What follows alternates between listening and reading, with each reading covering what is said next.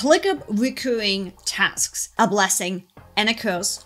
Because when we try to do something with them and change them and it's not always 100% the same, they can cause quite a headache. So today I'm going to show you three hacks that are going to make your ClickUp recurring task life way easier.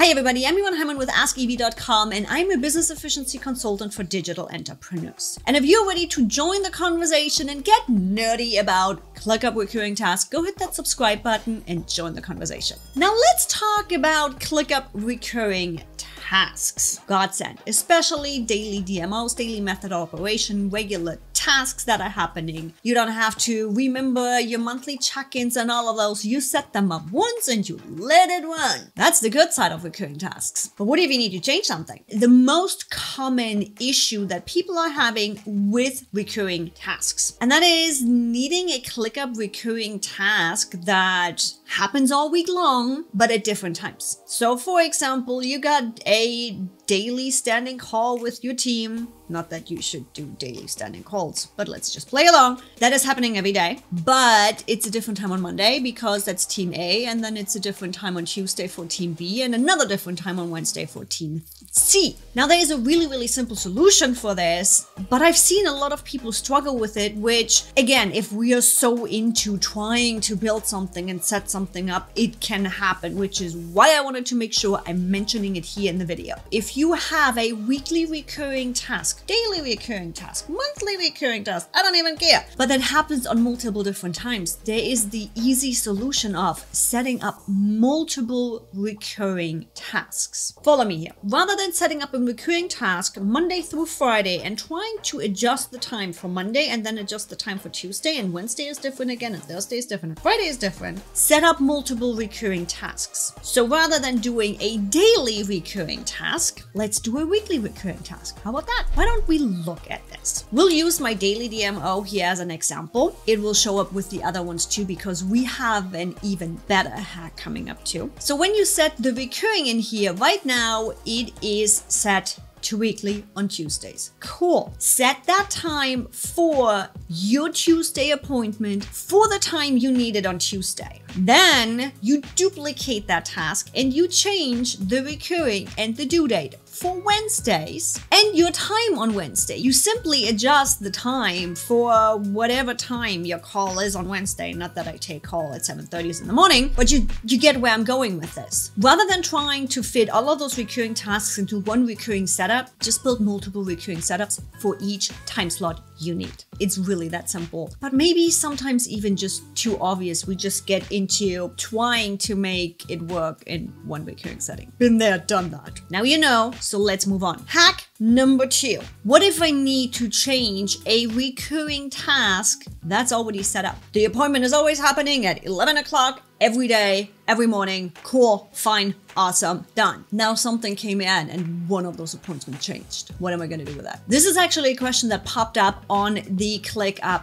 Reddit channel. And as you can see, I just changed one of those appointments. This is where the differentiation comes in between the legacy recurring task and the standard, I don't even know what ClickUp is calling it, recurring tasks. When you're setting up a recurring task, the one that always pops up is the regular standard recurring task. That's where you're gonna end up with. If, however, there is a chance that you want to change any of those recurring tasks in the future without screwing up everything else that's happening, because that's what's gonna happen. As you can see in this calendar here, my daily DMO usually happens at 11 a.m. Now, I played around with that appointment that you see up here now because we changed that due date and moved it to 10 a.m. So when that recurring schedule happened to actually generate that next recurring task, it moved that one to 11 a.m., 10.30, I don't even know, to the time that the Tuesday appointment was in. It takes the last appointment with all of that information and duplicates that. So if we change this one, this one will change. The same thing will happen right here. And with these following, as you can see, they are with dotted lines. So they are not created yet. They are there, so you know, hey, this is a recurring task. Those will be happening, but they are not actually really created yet. Those will change the moment this appointment is done and triggers the next reiteration of this task. Now that's a problem when you move one task because everything after that is going to change too. Kind of like the Google setting when you change a recurring appointment and asks you which one do you want to change, only this event or this event and all following. ClickUp always handles this as this event and all following. Now how can we fix this? When you're setting up your recurring task, do not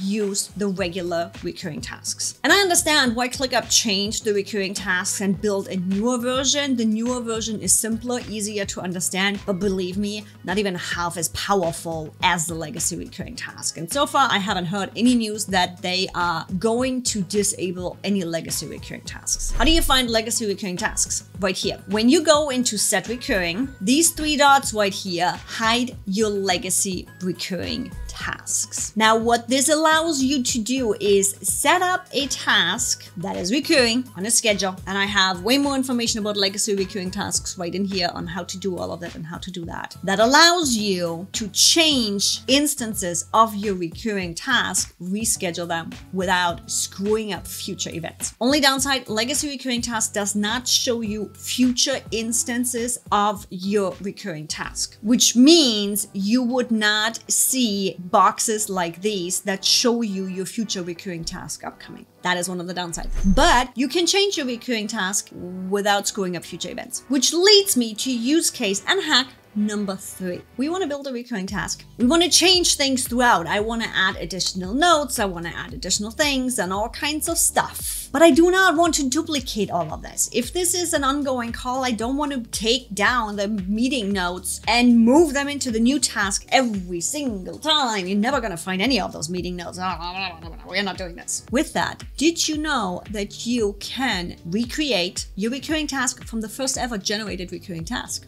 Let me show you. So what we are pretty much trying to do here is build an automation without building an automation. We are recreating a task that happens on Monday, on Tuesday, on Wednesday, on Thursday, on Friday, but we are not moving that information within the task forward. Now this is available in Legacy as well as the regular recurring task in your recurring task settings. With that, I always love to create a new task. And in this case, you have to create a new task. And then you open up your ClickUp task options and you choose what actually gets duplicated. So in the case, in this example of using ClickUp for meeting notes and as a recurring call schedule, assignees make sense. Let's keep the assignees. Subtask, yeah, probably because that could be your call schedule and what you need to talk about in general. So talking to this department, that department, if they're the same, keep the subtasks. If they change from ClickUp task to ClickUp task, take the subtask out, take the attachments out. If you're using Google Docs for your meeting notes, take it out, gone, done. Common attachments, take it out. Comments, take them out. They are meeting specific. They don't need to move. And literally just uncheck all of the information that you do not want to duplicate. Again, if you want to create a recurring task that uses an empty instance, a clean version of your task, simply uncheck everything that you don't want in there. Use the create new task under the options there it is right there. Now here's a pro tip for you because again, in legacy recurring tasks, there's even a little bit more possible. So let's look at it. We again open up the legacy recurring tasks. And again, I prefer the create a new task. No matter, I don't care what repeat schedule you're using, if you're using a trigger or the schedule or whatever, fine. Right down here, first of all, what are you copying? But there is another step that right there. What are you copying? So you either way duplicate the first ever task generated, that is the first task right there, and you use that as a template. Don't touch it the first time around, just let it run. Use the second task to make your changes and customizations and add stuff and whatever. That first task is going to be your template for all of the recurrence. Cool. Now, the other way is the last task generated can become that template, and then you would choose the newest task. So with that, you easily can build build your recurring task based on a template by using the first instance of that recurring task. Now I know I threw a lot of ClickUp legacy recurring tasks at you. I do have right here Ta-da! I feel like the girl in what is it? What is it called in English? The spinning wheel thingy? Wait here, you're gonna find a link to the video that specifically dives into my legacy recurring task, which is going to help you really dive into what's available and possible in legacy recurring tasks for you. And don't forget to subscribe right here. I'll see you in the next video.